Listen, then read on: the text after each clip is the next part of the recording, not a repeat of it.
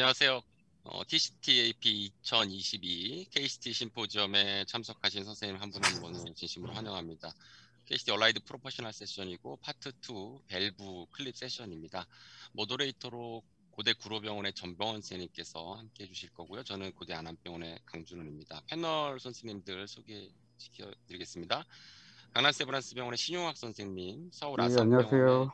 이정선 선생님, 김주희 선생님, 노진석 선생님, 서울대병원의 이동준 선생님, 전남대병원의 이두환 선생님, 대전을지대병원의 이규성 선생님, 분당서울대 송골수 선생님, 경험 많은 어, 선생님들 discussion으로 모시고 세션을 진행하려고 합니다. 첫 번째 세션은 optimal valve choice in TAVR라는 주제로 어, 신촌 세브란스 병원의 박찬순 박창순 선생님께서 준비해 주셨습니다. 박찬순 선생님 강의 부탁드리겠습니다. 네, 저는 세브란스 병원에 근무하는 박창순이고요. 오늘 밸브 초이스에 있어서 우리가 고려해야 될 사항들에 대해서 한번 말씀드리도록 하겠습니다. 뭐 타바 케이스는 2015년에 발표됐던 내용인데요. 한 4배 정도 앞으로 성장할 할 것이다. 2025년까지 역시나 그런 추세로 가고 있는 것 같습니다. 한국에서도 지난 2021년에 한 1000케이스 이상 TAVR 케이스가 있었습니다. 그 TAVR 케이스를 이 두 밸브가 우리나라에서 양분을 하고 있습니다. 그래서 잠깐 살펴보면 Edwards SAPIEN 3는 bovine valve, bovine tissue를 가지고 있고요. balloon expandable, intra-annular라는 특징을 가지고 있습니다. 스테인리스 스틸. 그리고 밸브 implantation 할때 rapid pacing이 필요하다는 점. 그다음에 Medtronic 밸브 같은 경우는 porcine을 가지고 있죠. 그리고 supra-annular, nitinol의 self-expanding 시스템을 가지고 있습니다. 그다음에 가장 큰 장점이라고 할 수 있는 recapture가 가능하다는 장점을 가지고 있습니다. 그러면 우리가 밸브를 선택하는 데 있어서 고려해야 될 사항들은 무엇이 있는지 좀 살펴볼 건데요. 먼저 첫 번째로는 access site나 사이즈, route의 문제겠죠. 그 다음에 두 번째로는 뭐 bicuspid, bicuspid valve냐, 그 다음에 valve-in-valve냐, annulus가 작으냐, 아니면 또 aortic 모양, 그 다음에 또 하나 annular rupture risk가 많냐 적냐의 문제겠죠. 그리고 coronary risk가 또 대두가 될 것 같고요. 그다음에 이쪽 부분은 사실 밸브를 선택하고 난 후에 생기는 complication 아니면 그 이후의 문제들에 대해서 나열된 내용입니다. recapture를 할 수 있느냐 없느냐 페이스메이커를 과연 넣어야 될 것이냐 나머지 paravalvular leak이라든지 다른 outcome들을 생각해 볼 수 있을 것 같습니다. 먼저 access site 살펴보면요. access site는 지금 한 0.5mm 정도 차이가 나는데요. 결국은 0.5mm라고 하면 한 2 French 정도 차이가 나는 거라고 생각을 할 수가 있습니다. 그래서 조금 더 smaller, low profile을 원하신다면 이제 Evolut를 선택할 수 있을 것 같고요. 네, 조금 평범한 뭐 큰 문제가 되지 않으면 둘 다 상관은 없을 것 같습니다. 근데 문제는 꼭 access site 사이즈의 문제뿐만 아니라 이 아치에서의 passage도 pass 문제도 굉장히 중요하다고 저는 생각을 하는데요. 이렇게 SAPIEN 3 같은 경우는 이 aortic arch를 넘을 때 이 distal 부분을 bending을 할 수 있다는 큰 장점을 가지고 있습니다. 하지만 Evolut 같은 경우는 이게 저희 병원 케이스였었는데요. 이 아치에서 넘지 못했던 케이스가 있습니다. 굉장히 이 칼슘 턱에 RAU에서 보니까 완전히 직각으로 해서 더 이상 넘지 못했거든요. 굉장히 오래 걸렸던 케이스인데 결국에는 여기에다 저희가 이렇게 balloon supporting을 하나를 해가지고 이 geometry를 약간 바꿔주면서 passage를 했던 케이스입니다. 네, 추후에 subtraction angio에서 큰 dissection은 없이 잘 마무리가 됐었습니다. 다행히. 그래서 이런 장단점도 한번 생각해 볼 수 있을 것 같습니다. 이 아우트 아치를 넘을 때 이 이게 왜 안정하게 넘는 게 중요하냐면 결국에는 이게 stroke embolism의 가장 큰 원인이 되는 거기 때문에 TAVI가 아무리 잘 끝나도 환자가 stroke가 생기거나 다른 이벤트가 생기면 또 곤란하다는 거죠. 그 다음에 이제 bicuspid 살펴볼 건데요. bicuspid는 사실 저희 병원은 그렇게 케이스가 많거나 아니면 경험이 많이 있진 않습니다. 하지만은 이렇게 작년 Circulation 논문 살펴봐도 이 rupture의 risk는 조금 더 이 SAPIEN이 가지고 있고 나머지 paravalvular moderate severe paravalvular leak는 Evolut가 좀 더 가지고 있더라. 이런 그 concern을 좀 가지고 있는 것 같고요. 다른 study에서도 이렇게 meta analysis 한 study인데요. 환자군은 balloon expandable이 조금 더 많습니다. 하지만 결국에는 우리가 TAVR를 하는 거는 환자의 여명을 늘려주고 환자의 survival, clinical survival이 제일 중요하다고 생각이 되는데요.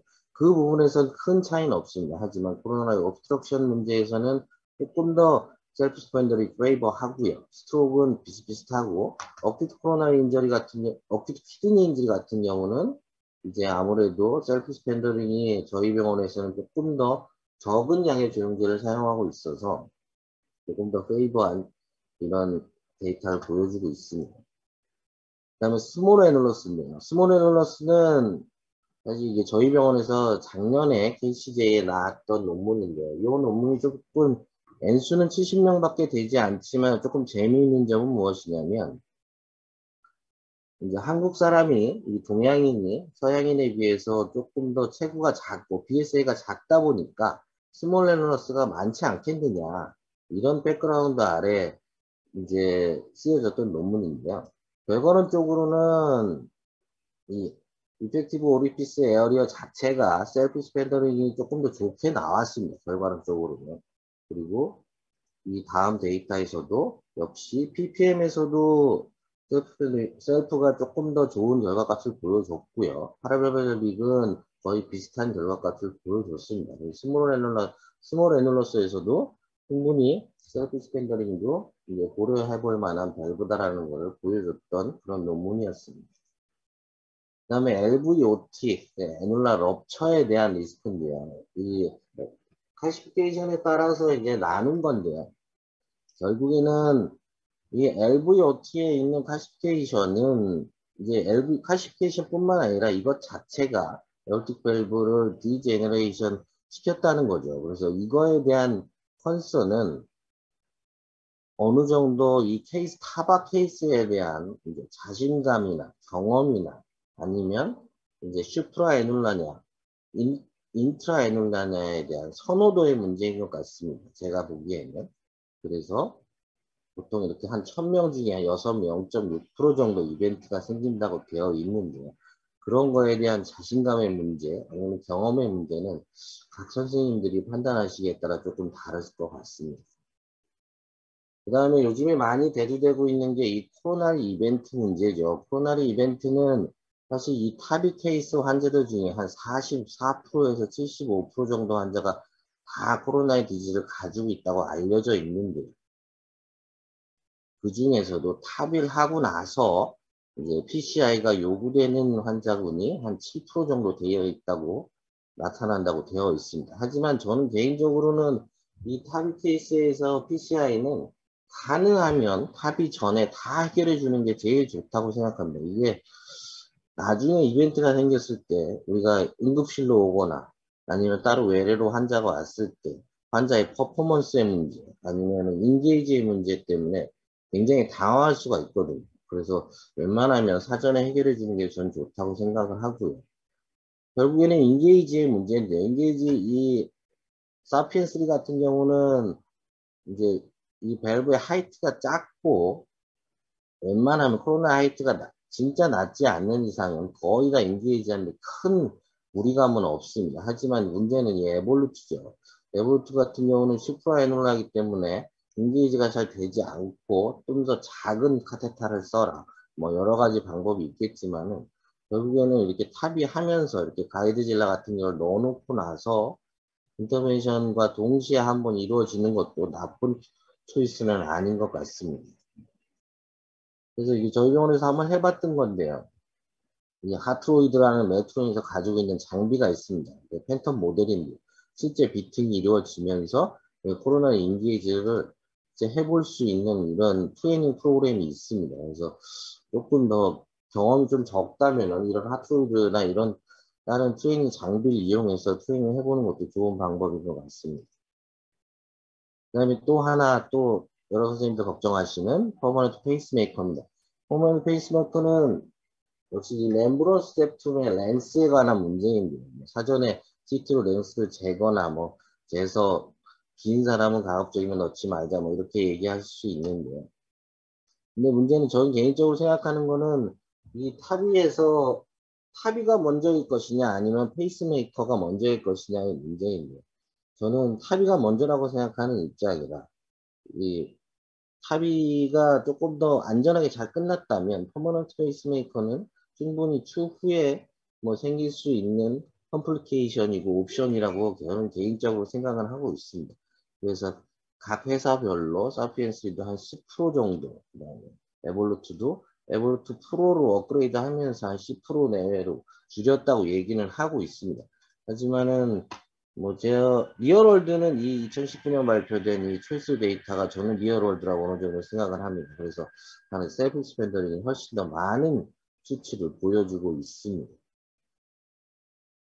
그 다음에 또 하나 고려하시는 점들이 역시 paravalvular leak입니다. 그래서 이 Sapien 3가 훨씬 더 paravalvular leak이 적다라고 주장하시는 선생님들이 굉장히 많은 걸로 알고 있습니다. 하지만은 뭐 이거는 case by case가 좀 더 맞는 것 같고요. 이 Sapien 3나 예 Evolut Pro나 거의 paravalvular leak에서는 한 30일 정도에서는 거의 비슷한 값을 보여주는 게 사실인 것 같습니다. 그래서 종합적으로 이런 사진, 이러한 사실들을 조금 종합적으로 고려해서 봤을 때 저희 작년에 저희 병원 고용 교수님이 정리하셨던 내용인데요. 저희 병원의 선호도입니다. 저희 병원의 선호도. 그래서 small 이제 transfemoral access route에서는 Evolut, 그 다음에 aorta 모양에 관해서는 Sapien, coronary obstruction은 Evolut, 그러나 access는 역시나 Sapien이 좋더라. 그 다음에 heavy calcification root, 그 다음에 small annulus, small ST junction에서는 이 Evolut가 조금 더 저희 병원에서 선호하고 있고, 이 AV conduction 문제에서는 Sapien 3가 조금 더 선호되고 있습니다. 그 다음에 밸브 인 밸브, LVD, 밸브 인 밸브에서는 이 작게 Evolut Pro가 선호되고 있고요. severe LV dysfunction 같은 경우는 저희가 왜 Evolut를 선호하냐면 결국에는 이 rapid pacing의 문제입니다. 아무래도 pacing을 좀 과하게 하다 보면 LV에 부담을 주더라라는 게 선생님들이 가지고 있는 걱정이고요. 그 다음에 밸브 사이즈를 이제 에코에, echo만 가지고 했을 때는 이 Evolut를 선호하고 있는데 이 문제는 무엇이냐면 이머전시의 문제입니다. 우리가 이머전시에서 이머전시에서는 환자를 CT 찍고 여러 가지 분석하기가 어렵기 때문에 충분히 oversizing 할 수 있는 Evolut를 조금 더 선호하고 있는 것 같습니다. 네, 지금까지 뭐 보여줬던 이 밸브는 두 가지 밸브에서는 모두 다 좋은 데이터를 보여주고 있습니다. 그리고 어떤 밸브가 더 좋다 나쁘다를 말씀드리기는 어려울 것 같고요. 결국에는 각 병원에 각 기관에 이제 근무하시는 heart team에서 경험하신 내용과 각 선생님들의 의견이 TAVI 밸브를 결정하는 데 가장 중요할 것 같습니다. 그래야 이제 앞으로 환자의 컨디션이나 여러 가지 재반 여건들을 고려했을, 고려해서 TAVI 밸브를 결정해야 또 앞으로 환자들한테 또 좋은 clinical outcome을 얻을 수 있을 것 같습니다. 이상입니다. 네, 선생님 발표 감사합니다. 좋은 내용 잘 정리해 주셨는데요. 어, 그러니까 결론은 그 신촌에서는 self expandable을 조금 favor한 걸로 이제 생각이 됩니다, 선생님 맞죠? 네, 그렇습니다. 예, 이제 적지에 오셔서 지금 이제 아산은 또 그 반대로 balloon expandable을 좀 선호하는 걸로 알고 있습니다. 뭐 물론 양쪽 밸브를 다 쓰시지만 그래서 오늘 어, 떤 밸브가 좋다 나쁘다의 개념보다는 어떤 환자에게 best choice를 할 수 있느냐라는 그런 것에 좀 초점을 맞추시면 좋을 것 같습니다. 패널 선생님, 뭐 좌장 선생님 포함해서 코멘트나 질문 있으면 부탁드리겠습니다. 예. 네, 선생님 질문 있어요? 네. 예, 편하게 하시죠. 예. 어, obstruction 위험이 있을 때 self expandable을 더 선호하신다고 하셨는데요. 네. 우리가 흔히 이제 coronary height를 이제 기준으로 그 양사에서는 contraindication이 있는데 height 이외에 또 추가적으로 고려하는 면이 있는지 아무래도 칼슘이죠, 선생님. LVOT 칼슘이 이제 balloon을 하면서 양쪽으로 밀리는 거에 대한 obstruction에 대한 그런 압박감이라고 할까요? 그런 것 때문에 이제 coronary obstruction이 말 그대로 immediately하게 그냥 탁 막아버리는 거 그런 거에 대한 concern이 있을 때는 조금 더 이제 Evolut를 선호한다는 거 그런 이야기인 것 같습니다. 그러면은 칼슘의 어떤 total amount 그거 이외의 어떤 칼슘의 위치 그렇죠. 이것이 leaflet의 어떤 쪽 coronary os와 가까워질 것이냐 네. 뭐 이런 것들을 고려하시는 거예요. 네, 예. 이제 양쪽 cusp에 있어서 칼슘의 네. 정도와 이제 그런 양 부피에 따라 가지고 그거를 이제 코로나 옵스트럭션이 생기면 안 된다는 거에 더 초점을 맞춘다는 거죠. 그거를 이제. 어 그럼 이제 케바케로 케이스 매 케이스로 디시전을 하시고 이게 어떤 그 가이드라인으로 정해서 보시는 그런 기준은 없으시고요. 예, 완전히 뭐 그거를 딱 여기까지는 이렇게 합시다. 뭐 이렇게 해가지고 완전히 뭐 가이드라인을 딱 세워가지고 움직이는 건 아니고 이건 말, 음. 말 그대로 합의 미팅에서 이제 여러 가지 의견을 모아가지고 음.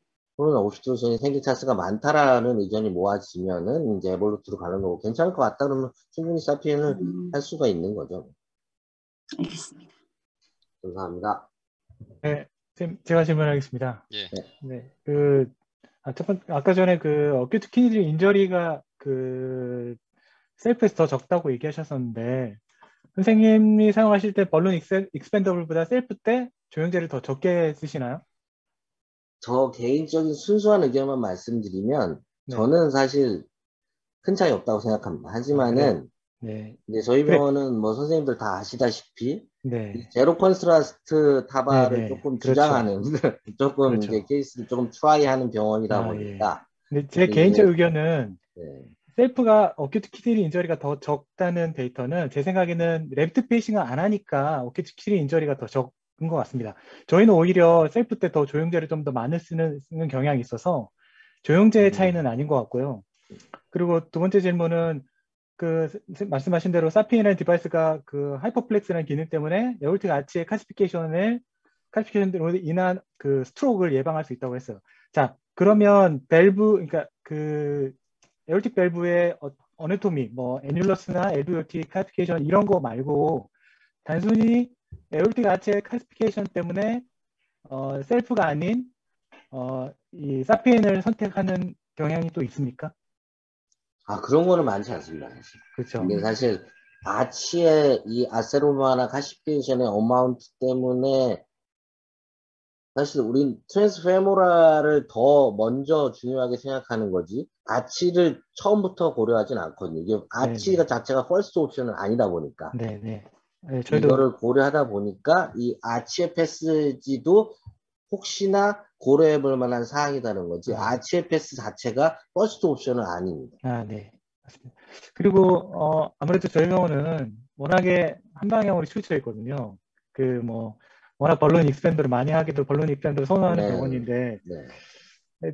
뭐 이제 저희는 이제 또 나름 다른 팀에서 self도 많이 시도하는데 최근에 저희 그 작년에 정말 헤비 칼시피케이션에 셀프를 넣었다가 이 밸브가 전혀 펴지지 않고 납작 이렇게 저기한 케이스가 있었거든요. 그때는 밸브를 넣고 나서 전혀 hemodynamic이 개선되지 않더라고요. 혹시 그런 케이스를 경험하신 적이 있는지? 저희가 한 3년 전에, 2, 3년 전까지만 해도 저희도 이제 흔히 우리가 이제 보통 뭐 LAO 조금 주거나 RAO 조금 준 view에서는 밸브 모양이 잘 펴져 보이죠. 그렇죠. 그러다 보니까 그러고 나서 끝냈는데 노지석 쌤 말씀하신 것처럼 그랬던 케이스들이 있었던 것 같아요. 하지만은 나중에 이제 조금 늦게 깨우친 거죠. 이거 이게 balloon 자체가 한쪽 방향에서 보면 안 되더라는 거죠. 그냥 네. 다른 쪽에서는 전혀 펴지지 않았던. 맞습니다. 그래서 그 헤피카스케이션에 있는 환자에게서 self를 넣을 때는 반드시 여러 방향에서 네. 밸브의 geometry가 어떻게 생겼는지 확인하는 게 맞는 것 같고요. 그래서 저는 그것 때문에 balloon expandable을 좀 더 더 많이 사용하게 되는 것 같습니다. 그래서 지금 저희도 이제 그 케이스 있고 난 후부터는 무조건 이제 끝날 때는 항상 이렇게 쭉 rotation angio를 한 번더 네. 본다는 거. 그거는 꼭 중요한 사항인 것 같습니다. 네, 감사합니다. 그 질문 하나 더 있어요. 선생님, 그 아까 슬라이드 초반에 그 아치 네. 안 넘어갈 때 balloon으로 받치고 그 네, 네. 아치 넘긴 케이스 보여주셨잖아요. 네. 그때 산정한 balloon은 기존 aorta 사이즈의 뭐 diameter의 몇 프로 정도로 잡고 balloon diameter를 고르신 건지.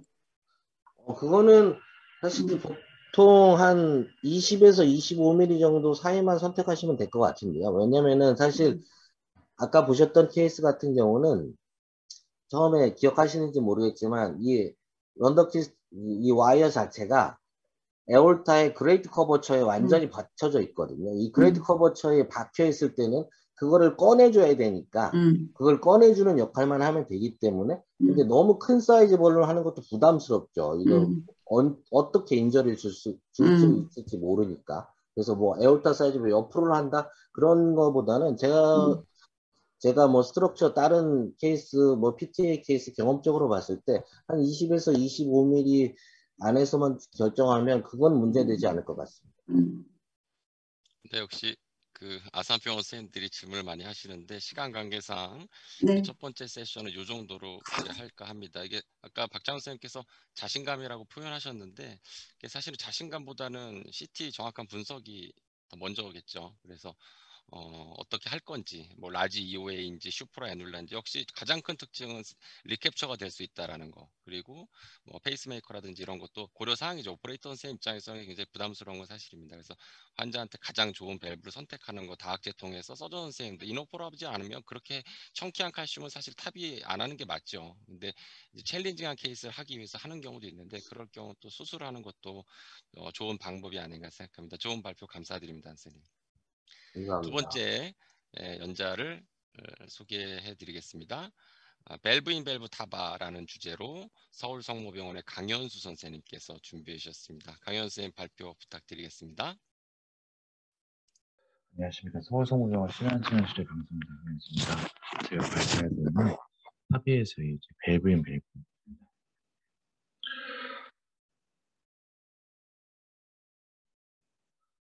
어, 다들 아시다시피 valve in valve는 다음과 같은 종류로 나눠질 수 있는데요.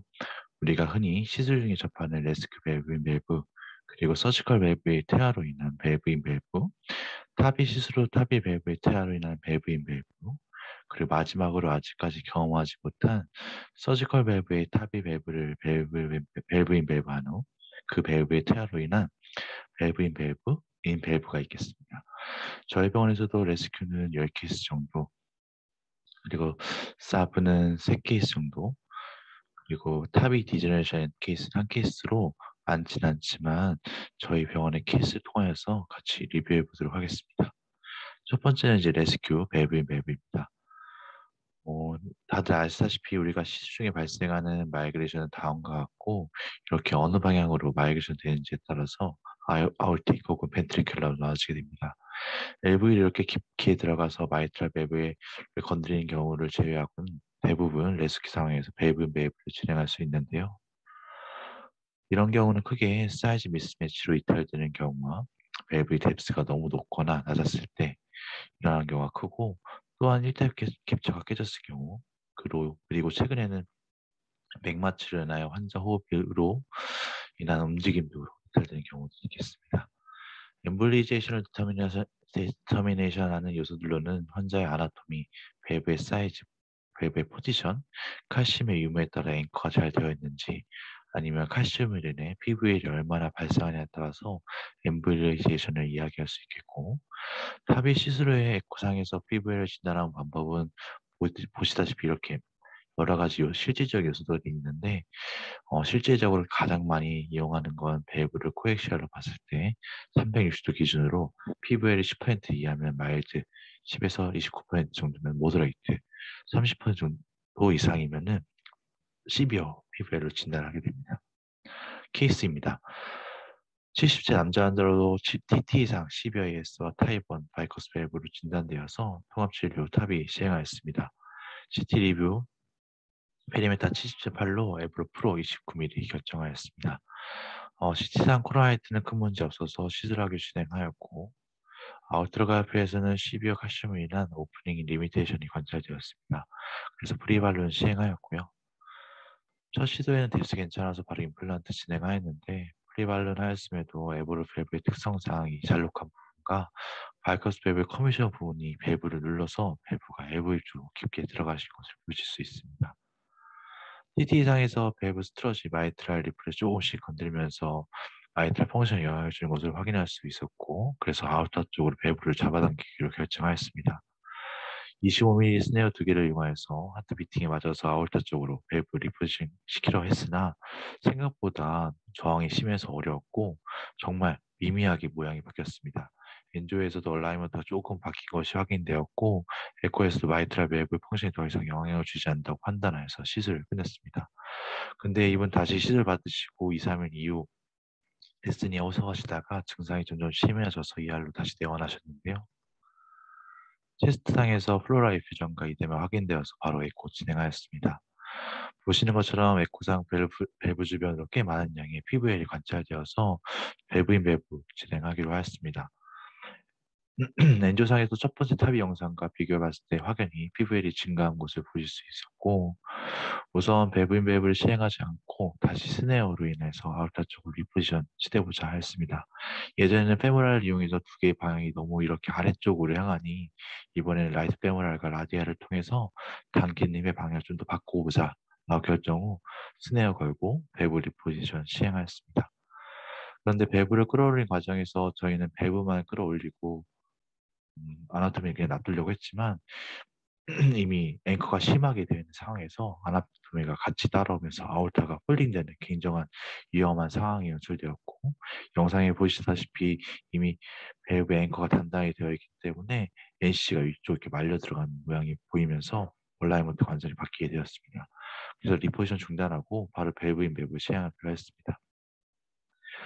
pigtail을 이용해서 조심스럽게 AV wiring crossing하였고 후 밸브를 넘기는 과정에서 Safari는 밸브를 넘기기 어렵다라는 proctor 선생님의 의견에 따라서 double curve Lunderquist를 Safari 대용으로 사용하였으나 그래도 기존 밸브의 strut에 걸려서 밸브가 잘 넘어가지 않았습니다. 그래서 femoral을 통해서 snare를 넣고 snare 사이로 다시 AV wiring을 실시한 뒤 snare로 밸브의 끝에 nose cone을 잡아주고 이렇게 조금씩 당겨서 밸브의 진입방향을 바꾼 뒤 밸브를 cross하였습니다. 밸브를 넘어간 후 depth 조정하면서 pacing backup하에 삽입하였고 어, final angio에서 좋은 결과를 얻었습니다. 시스로 에코 영상을 보시면 시술 전과 비교했을 때 확연히 PVL이 줄어든 것을 확인할 수 있습니다. 두 번째 케이스입니다. 88세 여자 환자로 에코상 severe AS 발견되어서 TAVI, TAVI 진행하였습니다. leaflet에 칼슘 uneven하게 분포되어 있었고 다행히 LVOT까지 extension된 칼슘이나 휴즈 칼슘을 관찰되지 않았습니다. simple 케이스라고 생각하고 pre-balloon 없이 밸브 임플란트 진행하였는데 보시는 바와 같이 balloon 시 centering이 되면서 밸브가 even하게 펼쳐져야 되는데 이쪽 NC side 먼저 안착되어 되다 보니 반대쪽으로 overshooting이 되는 것을 보실 수 있습니다. angio상에서도 위아래 depth가 확연히 차이가 나고 에코상에서도 moderate 이상의 PVL이 발견되어서 valve-in-valve 진행하였습니다. 같은 사이즈 밸브를 넣고 두 번째 밸브는 기존 밸브의 상단 부분만 확인하면서 depth 조정하면서 임플란트를 하였고요. final angio에서 에코에서 모두 좋은 결과를 얻어서 끝냈던 케이스였습니다. 어, 이 슬라이드는 방금 전 케이스과 우리가 뭐 normal한 Sapien 임플란트 영상을 비교한 영상인데요. 영상에 보시는 바와 같이 centering이 되지 않았고 이 부분들을 교수님 같이 리뷰해 본 결과 pre-balloon 시행하지도 않았고 그로 인한 이런 uneven한 칼슘의 어딘가에 밸브가 미리 안착되어서 그쪽 반대쪽이 미리 overshooting 된 것 같다라고 같이 리뷰했던 케이스였습니다. 어, 이제 다들 아시다시피 정확한 밸브 사이즈와 환자 lesion에 맞는 특성의 밸브를 선택하는 것이 정말 중요하기 때문에 이제 한 회사의 리뷰 어, CT 리뷰보다는 두 회사의 리뷰를 보고 양쪽 회사의 경험을 들어보고 밸브를 선택하는 것이 이제 많은 도움이 되겠으며 또한 Evolut 같은 경우에는 밸브를 cross 시 snare 가 밸브의 axis를 바꿔주어서 cross 시 도움이 줄 수 있으며 마지막으로 밸브 포지션 과정에서 앞에 보셨던 것처럼 coaxiality를 잘 맞추기는 좀 어렵고 여러 가지 변수가 좀 존재하기 때문에 이 부분도 우리가 시술 전에 CT로 충분히 리뷰하고 접근하는 것이 중요하겠습니다. 어, 최근 저희는 교수님께서는 Evolut 사용 시 카시 만화 opening이 확보되지 않는 경우 또한 이렇게 depth가 잘 조정되지 않는 경우에는 어, 이런 recapture를 두세 번도 충분히 하여서 더 좋은 depth와 더 좋은 position을 얻는 경우가 많을 뿐만 아니라 final release에서도 한 5분 정도 기다려서 밸브가 충분히 펴지도록 하고 앵커가 잘 되도록 기다려준 다음에 그 다음에 이제 밸브를 deploy를 하는데 이런 경우들 때문에 현재는 이제 out하고 LV로 말게 되는 상황들이 발생하고 있지는 않습니다. 다음 surgical valve의 valve in valve입니다. 다들 아시다시피 닥터 Vinayak Bapat이 만들어 놓은 어플리케이션인데요. 이 어플리케이션을 통해서 밸브 종류와 타입을 설정하게 되면은 밸브의 inner diameter 등 제원들이 나오게 됩니다.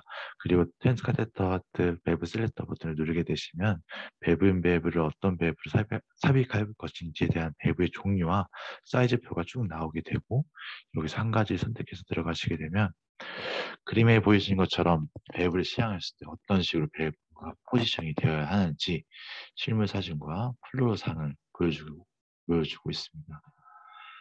일단 surgical 밸브는 크게 세 가지로 나눌 수 있는데요. 첫 번째는 이렇게 접합부에만 마커가 있는 밸브 그리고 스탠드 프레임이 전체가 fluoro상이 보여지는 밸브 아니면 이렇게 마크가 아예 없는 밸브로 나눠질 수 있습니다. 이런 추가적인 valve in valve 삽입할 때는 그림에서 보여지는 sewing ring이 기준이 되겠고 이 sewing ring 기준으로 SAPI, SAPIEN 같은 경우에는 접합부 기준 하단 15% 정도 CoreValve는 이제 3mm 정도 내렸을 때 이상적인 밸브 포징이 됐다라고 할 수 있겠습니다.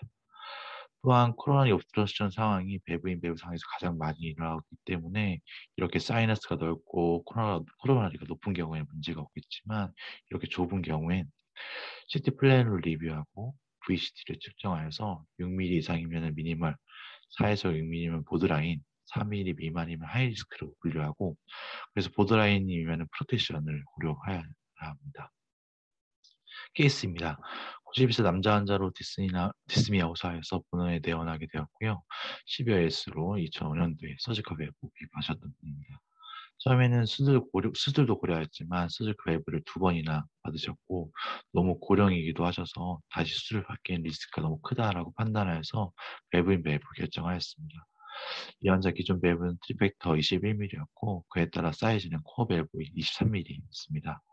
CT 리뷰도 하였으나 역시나 똑같은 사이즈 23mm로 결정이 되었고 CT상에서 right coronary 11mm, left coronary 7.6mm로 left가 조금 낮았지만 VCT가 7mm 이상으로 minimal에 해당되어서 추가적인 protection을 시행하지 않았습니다. angio AV wiring 실시하였고 말씀드린 것처럼 Evolut R도 CoreValve와 마찬가지로 기존 surgical ring 하단에 3mm에 맞춰서 임플란트 시행하였습니다.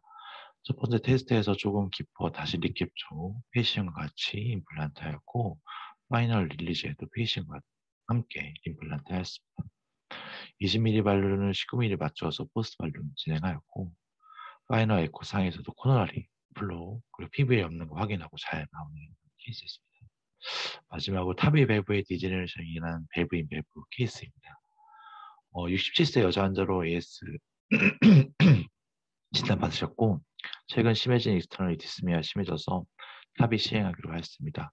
수술 권유를 하였으나 환자분의 확고한 거부로 TAVI, TAVI를 진행하였는데요. 아웃 들어감 시행하였고 외부의 크러싱한 뒤 어, 이건 2015년도라 사파이어 와이어가 없어서 익스타티프를 직접 지적한 와이어를 앱에 놓고 20mm 발룬을 시행하였습니다. 발룬을 26mm 밸브 사이프 파이널 에코에서 인조에서 모두 좋은 얻어 끝냈던 케이스였는데요. 환자분 다시 5년 뒤 팔럽 에코 중에 VMX 4.5 메시 카시빈노들 진단받게 되었습니다. 역시나 수술은 완강히 거부하여서 통합진료 후 탑이 진행하였습니다. 앱은 환자의 좀 더 넓은 이호의 확보를 위해서 앱을 것으로 사이즈는 페리메타 65.9로 기존 밸브와 동일한 26mm 밸브를 결정하게 되었고 코너 하이트는 모두 밸브 상단에 위치하여서 추가적인 프로테션은 필요하지 않았습니다. 밸브의 와이어는 20mm 발룬으로 발룬 시행하였고 서지컬 밸브처럼 3mm 데스를 맞춰서 밸브를 임플란트 하려고 하였습니다. 맵을 리캡처 온 후 가능한 구간까지 풀고 CT에서는 괜찮았지만 그래도 확인차 coronary 및 PVL 확인하려고 angio 시행하였습니다. 살짝 깊이가 깊어서 recapture 하진 않고 밸브를 살짝 당겨서 하단부 위치 조정한 다음에 5mm 정도 기다린 다음에 final angio 찍었고 landing 위치 괜찮다고 판단하시고 140일 pacing과 함께 밸브 landing하였습니다. 추가적인 추가적으로 20mm post balloon으로 final angio와 echo에서 result 나와서 끝냈던 케이스였습니다. 어, 결론입니다. 우리가 경험이 있고 이렇게 데이터가 있는 이런 두 가지 부분들은 앞서 말씀드린 것처럼 valve-in-valve 상황에서 여러 가지 상황들을 고려하여 진행하면은 이제 큰 이벤트 없이 어느 센터에서나 좋은 결과를 얻을 수 있을 거라고 생각이 됩니다. 하지만 앞으로 다가올 이런 상황들은 아직 우리가 많은 경험과 데이터가 없는 것은 있는 것은 사실이고 앞으로 접하게 될 상황들이 올 텐데 그래서 현재 젊은 환자들에게까지 탑이 시술이 가능한 상황에서 시행하고 있는 프로세스들이 지금 단 한순간만이 아닌 10년 뒤, 20년 뒤까지 생각하면서 시술을 하게 된다면은 차후에 생길 이런 이런 벨빙 배우 상황에서 우리가 환자에게 좀 더 좋은 결과를 줄 수 있지 줄 수 있지 않을까. 혹시 그런 방법들이 뭐가 어떤 것들이 있지 않을까 생각을 해보게 되었고요. 이상으로 발표를 마치도록 하겠습니다. 감사합니다. 아, 예, 강현 쌤 발표 잘 들었습니다. 좋은 발표 감사합니다. valve-in-valve라는 주제로 어, 발표를 해주셨는데요. 어, 뭐 좌장 쌤, 패널 쌤들 뭐 코멘트 같은 거 있으면 이제 부탁드리겠습니다. 제가 먼저 하나 말씀드리면은 어, valve-in-valve를 할 때 뭐 rescue로 하는 경우도 있고 뭐 degeneration이 돼가지고 하는 경우 SAVR에 하는 경우 TAVI-in-TAVI가 이제 있을 텐데 어떻게 뭐 박장훈 쌤 이야기하고도 비슷합니다. 뭐 밸브 선택을 어떻게 하는 게 이제 기준이 어떻게 하는 게 좋은지 뭐 PPM을 고려한다면 프랙처를 할 수도 있을 거고 뭐 어, 여러 가지 이제 옵션을 선택하는데 보통은 어떻게 밸브인 밸브를 선정하는지 궁금합니다, 선생님. 코로나리 액세스를 또 고려해야 되지 않을까 싶어요. 코로나리 저희가 몇, 몇 가지 이제 기준이 있는데 coronary obstruction 되는 게 이제 큰 concern이죠. 그리고 어, 이제 gradient PPM 뭐 surgeon 선생님들이 제 수술하고 나서 제일 강조하는 부분이기도 하고 또 embolization이라든지 다른 어떤 valve-in-valve를 하고 나서 생기는 것들을 고려해야 되는데 보통 valve-in-valve 많이 하시나요? 어, 보통 어떻게 하고 계신가요? 아, 예, 저희도 꽤 케이스들이 많이 모여지고 있는데요. 아무래도 저희는 과거에도 balloon expandable, Sapien 밸브를 많이 썼다 보니까 만약에 이 환자가 기존에 가지고 있던 이 TAVR 밸브 사이즈가 작지 않다면 환자의 뭐 patient mismatch가 생기지 않을 정도로 크, 작지 않다면 어, balloon expandable 다시 어, expandable 밸브를 밸브 저기 TAVR-in-TAVR로 고려하기도 하는데요. 때로는 기존의 밸브가 작아서 어, patient mismatch 우리가 원하는 EOA가 얻지, 얻기 힘들 정도라면 그때는 self expandable로 고려해서 이제 supra-annular 밸브다 보니까 그런 원하는 EOA를 얻고자 그런 선택을 하는 것 같기도 합니다. 제 강준 선, 강준호 선생님께 하나 제가 질문을 하나 좀 드려보고 싶은데요.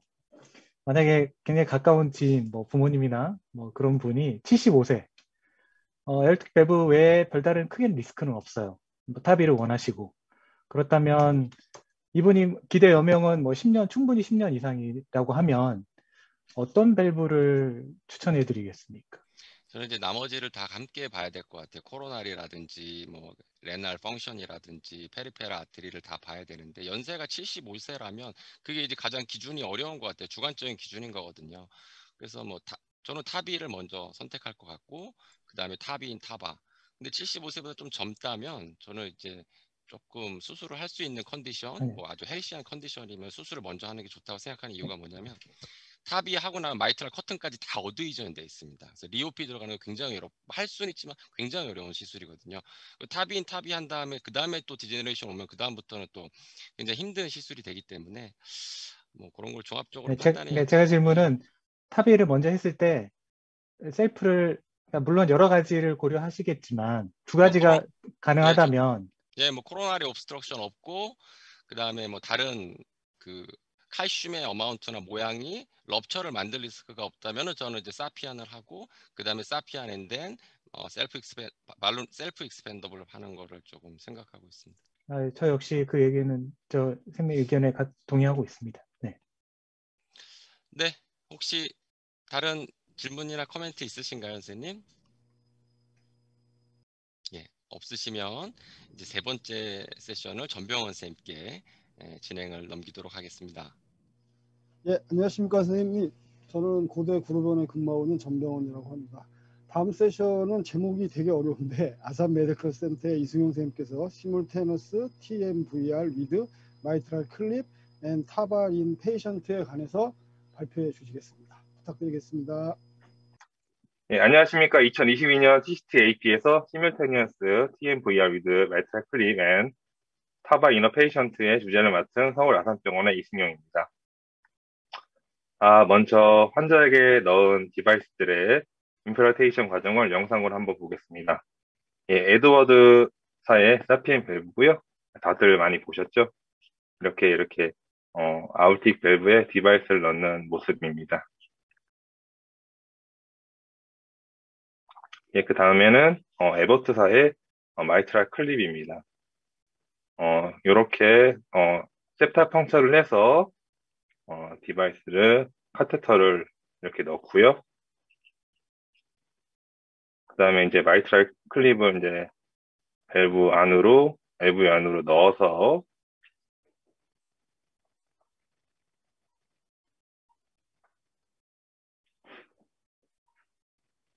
밸브 안으로 이렇게 잘 밀어 넣어가지고 밸브를 위로 클립을 위로 끌어올리면서 밸브를 딱 잡아주게 됩니다.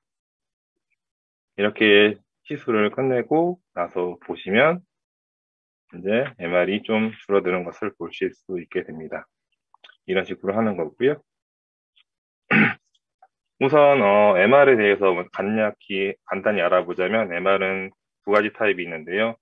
하나는 degenerative MR 또는 primary MR은 어, prolapse나 플로, flail 또는 chorda rupture 같은 게 있고요.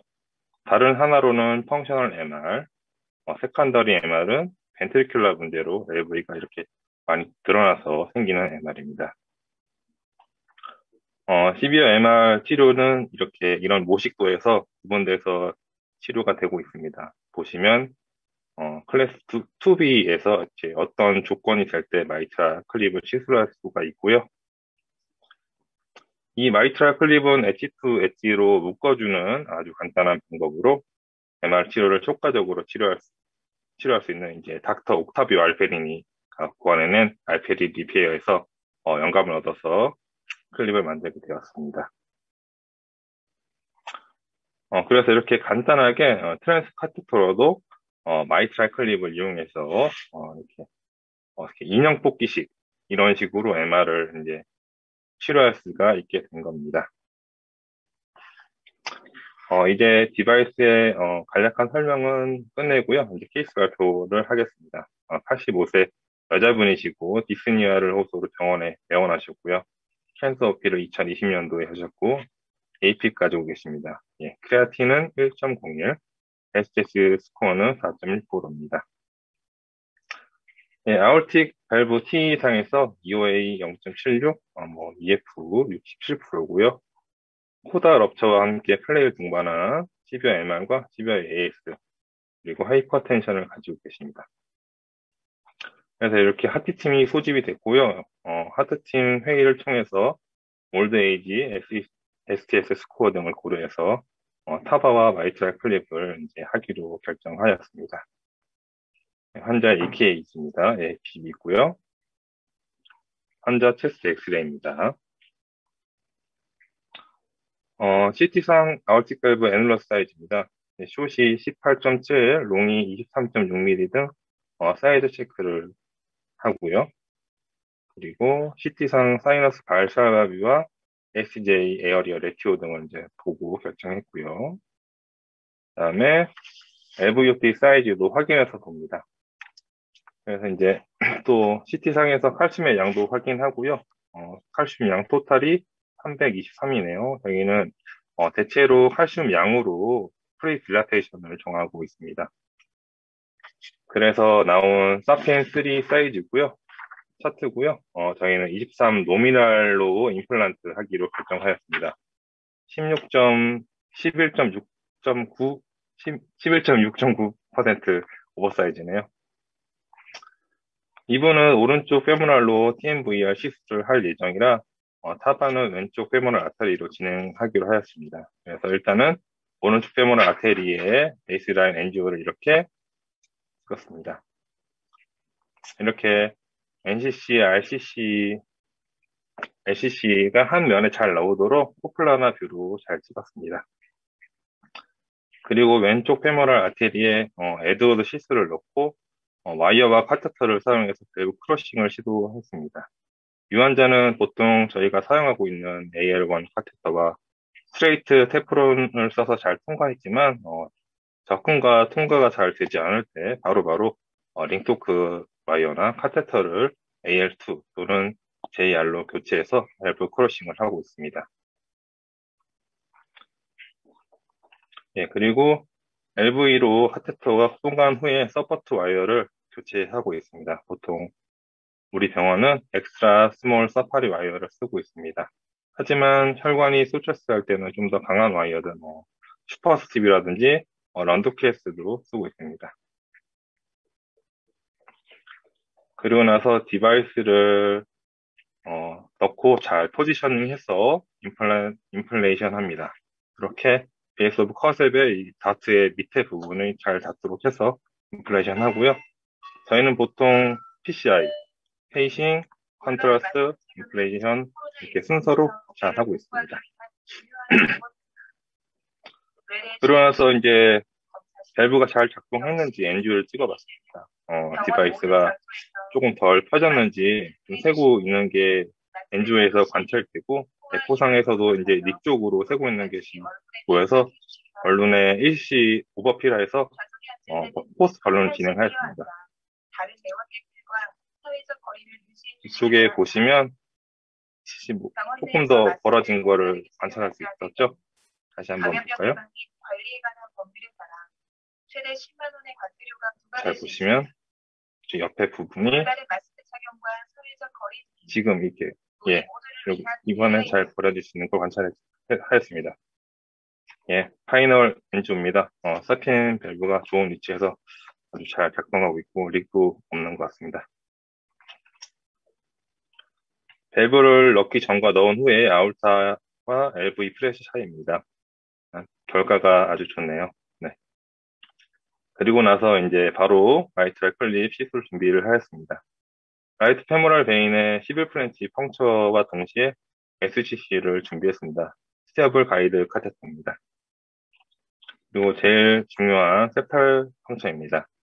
어, vein sheath를 통해서 SL1과 BRK를 이용해서 T guided로 어, mitral valve가 40mm 정도 떨어져 있고 fossa 측면 쪽에 좋은 위치에 반응 이렇게 tenting이 될 때 T로 확인 후에 어, 정확한 septal puncture를 위해서 Bovie를 사용하고 있습니다. 저기 보시면 tenting 낼 때 Bovie로 이렇게 툭 하고 예, 하는 걸 보고 볼 수 있습니다. 그리고 나서 어, C wire를 올리고 SGC를 wire를 따라서 LA 안으로 잘 밀어 넣습니다. 이렇게 가이, T guide 아래, 아래 잘 밀어 넣습니다. 잘 밀어 넣고 있고요.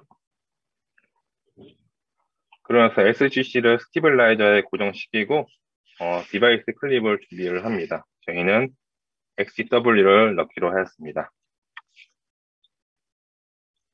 클립을 SGC에 잘 넣고 T guide로 클립을 이렇게 positioning해서 LV 안으로 device를 dive하여서 좋은 위치로 이동합니다. 이렇게 좋은 위치로 이동해서 클립을 펼쳐서 이렇게 딱 밸브 쪽으로 붙이게 됩니다.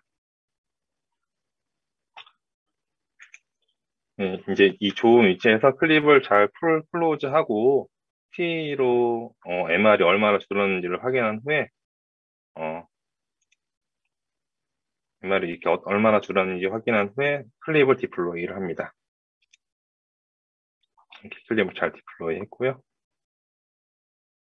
예, 타이널입니다. 예, 밸브와 클립이 아주 이쁘게 잘 보이죠? 네. 네, 파이널입니다. 이제 클립을 하기 전후의 LA 프레셔 비교입니다. 어, LA 프레셔가 많이 낮아졌, 낮아진 걸 볼 수 있었습니다. 클립 echo입니다. echo고요. 예, 클립을 넣기 전, 넣기 후, 넣은 후에 이렇게 TAVI 밸브가 펄럭펄럭 TAVI 밸브도 잘 보이는데 이렇게 펄럭펄럭 하는 게 잘 보이고 있죠. 그래서 이제 여기 뒤쪽에 클립을 하나 딱 넣어서 이 펄럭이는 걸 잡아주니까 아주 잘 잡혔고요.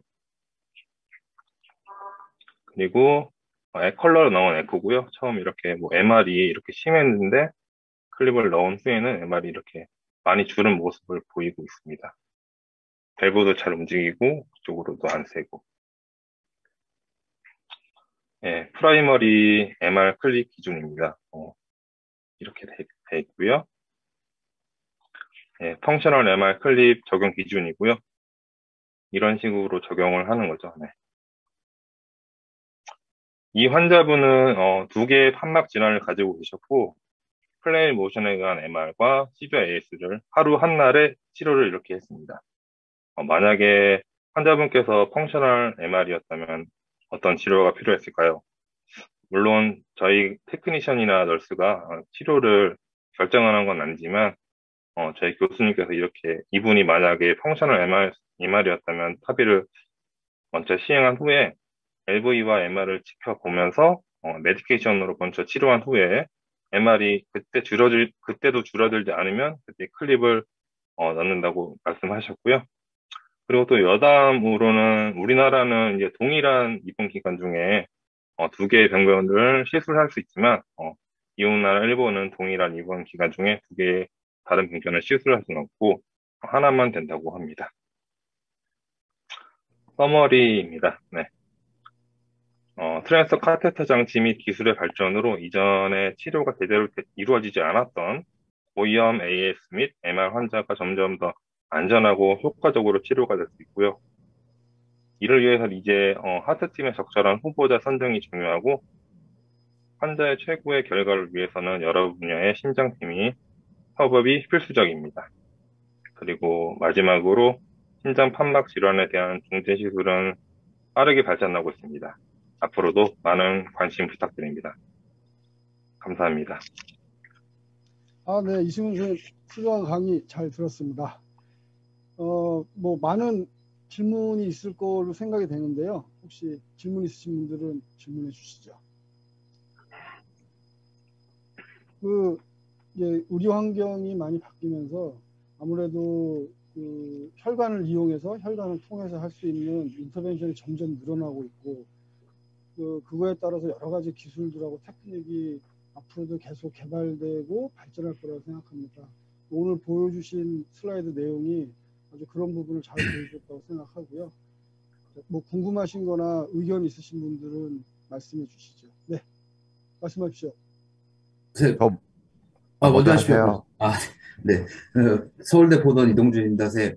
그, 다름이 아니고 일단 MitraClip 자체가 신의료로 진행되고 있고 TAVI 네. 자체가 지금 대한민국에서 보험 적용이 얼마 되지 않기 때문에 맞습니다. 사실 금액적인 문제가 가장 클 것 같은데 환자분들에게 네. 금액적인 설명을 어떻게 하시는지와 이 환자분 같은 경우에는 STS 스코어도 4%도 낮았으며 뭐 네. creatinine도 적정 범위에 있었고 노쇠하다라고 생각할 수도 있지만 네. 오, 그 MR과 AVR을 같이 operation으로 진행을 했다면 COPD도 아니고 한번 네. 대응으로 1차적인 치료가 아닌 수술적 치료를 완벽하게 해낼 수 있었을 텐데 예. 그 그것보다는 intervention이 먼저 시행될 수밖에 없었던 아산 측 입장과 그 환자분 설득이 어떻게 이루어졌는지가 좀 궁금합니다. 어, 그 환자분의 그 돈 문제는 그 저희가 이제 fellow 선생님들을 통해서 다 동의서 받, 동의서도 받고 여러 분야로 설명도 잘 하고 있고요. 그래서 이제 동의서를 취득하였고요. 그리고 이제 사실 타비가 보험 기준이 20%밖에 안 됩니다. 20%밖에 안 되고 이게 지금 마이탈 클립은 아예 제로이고요. 그래서 이제 환자 부담이 엄청난데 그것 그거를 이제 환자한테 설명 안 할 수가 없으니까 그거 다 설명하고 했고 그리고 환자분께서 이제 수술을 조금 그때 조금 이렇게 왜 어, 환자분께서는 수술을 조금 거부를 하셨습니다. 그래가지고 수술 이제 어, 거부하셨고 어, 그래서 이제 이걸 진행 같이 진행한 걸로 알고 있고요. 그리고 이제 환자분께서 또 이제 degener- degenerative MR이다 보니까 어, 동시에 같이 진행하기로 해서 같이 진행하기로 했습니다. 기술 시간 얼마나 걸렸어요, 선생님? 시술 시간 그렇게 오래 걸리지 않았습니다. 저는. 그리고 한 2시간 반 정도 걸렸나요? 시술 시간은 총? 네, 그래 빨리 끝났습니다. 네. 잘 준비돼서 빨리 끝났습니다. 이게 이런 경우가 종종 있었었나요? 아, 이번에 첫 케이스입니다, 선생님. 두 개를 같이 한 날, 한 시에 진행하는 게 첫 케이스였고요. 이게 그리고 돈도, 금액적으로도 좀 많이 부담이 되는 시술이라서, 어, 환자분이 그렇게 선정이 되기가 쉽지가 않고, 그 다음에 이제 MR도 이제, 어, 뭐, primary MR이어야지 이제 같이 할 수 있는 걸로 알고 있습니다. 저도 네, 제가- 이동준 선생님 말씀에 약간 공감하는 게 실질적으로 저희가 만약에 일반적인 procedure로 쉽게 가능할 거라고 생각했으니까 하는 거지 약간만 난이도가 높거나 했었으면 surgical OP가 그게 정말 primary treatment라고 생각하거든요. 네, 맞습니다. 결과론적으로는 뭐 잘 돼서 좋긴 좋네요. 네, 맞습니다. 이거는 부연 설명하자면 일단은 뭐 surgeon들은 환자를 절- 결국엔 설득 못, 시- 못 시킨 겁니다. 결국은 환자의 완강한 의지 때문에 결국은 설득을 못 시켰고 환자 말 환자 말은 비용은 절대 자기 고려 대상이 아니다. 금액은 자기한테 얘기하지 말아라. 이 얘기를 하셨고 그리고 저기 마지막에 일본 얘기를 하셨는데 일본은 그때 제가 그때 요거 MitraClip 때문에 연수 가서 물어봤어요. 환자들이 TAVI TAVI도 하고 MitraClip 환자들이 꽤 있더라고요. 물어봤더니 이 환자들이 다 보험이 돼요. 일본은 되게 되게 적은 금액. 나라에서 굉장히 많은 지원을 하다 보니까 적은 금액의 환자들이 TAVI와 Mitra를 받습니다. 대신에 동일 입원 기간 내에 두 개를 다 해주지는 않습니다. 왜냐? 왜냐 고령의 환자들에게 이런 비싼 비용을 이제 나라에서 지원해 준 다음에 이 환자가 얼마 더 오래 살지도 모르 살지 안 살지 모르니까 이, 이 동일 입원 기간 말고 퇴원 이후에 그 기간으로는 뭐 한 달 이후라고 들- 제가 들었는데 퇴원 이후에 다시 한 달 이후에 재입원한다면 그때 이 다른 시술도 이제 보험 이제 보험 급여가 된다고 그렇게 설명을 들었어요. 이 환자는 지금 시, 시술을 잘했네 못했네 따질 상황은 아닌 것 같아요. 앞으로도 이렇게 inoperable 환자들 분명히 있을 거거든요. high surgical risk 환자에서는 또 하나의 옵션이 되는 거기 때문에 지금은 저희가 비용을 이야기하지만 이제 그런 것들을 하나의 저희 옵션으로 가질 수 있겠다라는 생각이 들고 또 하나는 이게 separation 된 날짜에 stage로 할 건지 이게 지금 컨디션 버틸 수 있으니까 하루에 한 번에 또 procedure를 빨리 하셨으니까 그런데 또 MitraClip 시간 오래 걸릴 수도 있잖아요. 그래서 그럴 때는 그는 뭐 다학제나 surgeon 선생님들, cardiology 선생님들 결정하는 문제가 아닌가 생각됩니다. 맞습니다. 만약에 이게 이제 MitraClip도 보험이 된다면 아마 이런 케이스는 어려울 거라고 생각이 됩니다.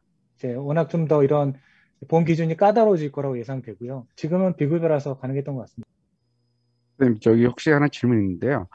그 케이스에서 저희 Sapien 밸브를 사용하시고 MitraClip을 사용하셨는데 혹시나 Mitra, MitraClip 하- 하실 때 Sapien 밸브를 Sapien 밸브를 선택하신 뭐 특별한 이유가 있으신 건지 좀 궁금한데요. 아니, 그, 그거는 이제 저희가 워낙에 Sa-, Sapien 밸브를 많이 하고 있고, 자신도 있고, 그래서 선택한 것 같고요. 제, 그리고 뭐 교수님들이 Sapien 밸브 좋아하시니까 이렇게 선택하신 것 같습니다. 네. 다른 이유는 없는 것 같습니다. 네. LVOT에 칼슘이 많았었는데 Sapien으로 그냥 한 것 같아요, 선생님. 아, LVOT에서 칼슘 많지 별로? 없었어요. 예. 323 정도, 저희는 500, 예, 아, 너무 좋은 케이스, 재밌는 케이스였습니다. 아닙니다. 간단한 거 하나만 질문 드리겠습니다. 혹시 MitraClip 할 때 preclose 하시나요, 요즘에? preclose 안 하고 그냥 하고 있습니다. 선생님. 마이탈 추천합니다, 클립은. preclose, 잘, 잘 됩니다. 아, 요즘에 이 vein에 대한 preclosure가 조금 이슈가 되는 것 같아가지고 혹시 아산도 하시나 한번 여쭤보고 여쭤봤습니다. 그냥 suture만으로 전혀, 전혀 문제없이 잘 되고 있어서요. 저희는 앞으로도 안 쓸 것 같습니다. 알겠습니다. 어, 네. 저희 병원 같은 경우에는 MitraClip 같은 거 아직 사용하고 있지는 않은데 그런 걸 하려면 TAVI 팀처럼 그런 어떤 조건이 필요한 건지 이제 만약에 시행을 하려고 하면 그런 조건이 필요한 건가요? 일단은 어 에, 에코 교수님이 협업이 제일 먼저 중요하게 되, 되고요, 선생님. 네. 그리고 이제 거의 에코 가이드로 이제 시술하게 하게 되는 거다 보니까 그리고 어, 선생님 급여가 아니다 보니까 아, 다른 기준은 그렇게 없습니다. 비용은 얼마나 혹시 되는지 아나요? 저희 같은 경우에도 탑이 같은 경우도 비용이 너무 많이 들어가지고 못하는 경우가 되게 많았는데 여기는 보험이 아예 안 되는데 네. 비용이 많이 상당히 많이 든다 하면 더 특히나 더 환자들이 안 하려고 하고 그럴 것 같은데 그 보험 보험 그 가격을 말씀드리자면 그 SGC 카테터가 2,400만 원 정도 하고요. 그 클립 하나당 하나에 700만 원 정도 하는 걸로 알고 있습니다. 그래서 두개 그러니까- 하면은 한 3천만 원. 아, 네. 그, 추가적으로 말씀드리면은, 클립 하나로 시술이 끝난다고 하면 4,200만 원일 거예요. 클립 하나가. 하나로 끝나면, 이제 클립을 두 개 쓰면은, 이제 두 개부터는 클립 비용만 추가를 내는데, 700만 원. 네, 저희가 한 이거를. 수기료를 높게 잡았어요. 음. TAVI 수기료가 너무 낮아서 수기료만 600만 원을 잡아가지고 SCC는 세탈 펑처되고 들어가는 stee- 이제 SGC가 2,400, 에다가 600, 클립 하나는 700입니다. 클립도 드- 들어가면 또 700이니까 어, 굉장히 고가의 시술은 맞습니다. 그래서 이 환자 같은 경우는 한 8천 정도 비용을 설명을 하고 시술을 하- 했었습니다. 저희는 TAVI나 이렇게 SAVR를 하는 경우에도 대부분 TAVI를 하는 경우에는 비용 때문에 대부분 안 하려고 하는 경우도 상당히 많은데 음. 이 클릭 같은 경우는 수술을 하게 되면 비용적인 측면이 훨씬 더 낫나요? 그런 경우에는 수술 수술은 안 되는 어, 건가요? 그렇죠. 그 천만 원 미만으로 시술, 수술하시니까. 그렇다고 네. 하면은 수술 음. 쪽이 훨씬 맞습니다. 더 네. 맞습니다. 그 이승영 쌤 슬라이드에도 이 그러니까 surgical repair가 golden standard입니다. 음. 하지만 mitral clip은 inoperable 수술이 불가능하거나 과거에 수술을 했, 했었거나 이런 그 대상으로 하기 때문에 mitral clip 하는 환자 수가 훨씬 적습니다. golden standard는 surgical repair가 맞습니다. 감사합니다. 오늘 수술도 재밌게 잘 봤습니다. 어, 더 이상 질문이 없으신가요? 아, 근데 저는 이제 마지막으로 제가 한마디 하고 싶은 거는 비용이 비싸고 위험도가 높고 그런 와중에도 결과가 비슷하고 환자가 원한다면 그 인터벤션으로 하는 것을 꼭 부정적으로만 볼 일은 아니라고 생각합니다. 왜냐면은 환자가 그렇게 선택하는 데는 이유가 있고 사실 저라도 저런 시술을 받아야 된다면 개흉하는 것보다는 puncture하는 게 더 낫다고 생각이 들거든요. 물론 이제 개인적인 생각입니다. 더 이상 질문 없는 것으로 알고 아, 쌤, 저도 한, 저도 네. 한마디 마지막으로 항상 이게 저희 이런 그 배- 이런 밸브나 이런 structure 이런 세션에서 항상 이렇게 뭐 왜 수술을 못했냐라는 얘기가 많이 나오는데 항상 저, 저 역시도 아침에 뭐 TAVI나 mitral clip을 딱 들어가면 이 환자 왜 수술 안 했지? 왜 안 한다는 거야? 라는 그런 의문을 많이 가집니다. 하지만 저희는 그런 다학제라든지 heart team discussion에 들어가지 않잖아요. 그래서 그날 그날 정해진 스케줄에 최선을 다할 뿐이라고 생각합니다. 네, 이상입니다. 네, 수고하셨습니다. 네, 그러면 이상으로 마치도록 하겠습니다. 선생님들 수고 많으셨습니다. 건강하십시오. 네, 수고 많으셨습니다.